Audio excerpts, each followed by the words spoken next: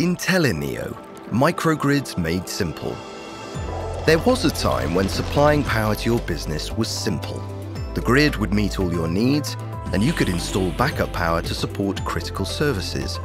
But keeping the power on is no longer so simple. Cost, reliability, and access to meet future needs can no longer be taken for granted. Investing in renewables and storage is an obvious solution, but designing, delivering, and connecting these systems can be quite challenging. That all changes with InteliNeo controllers.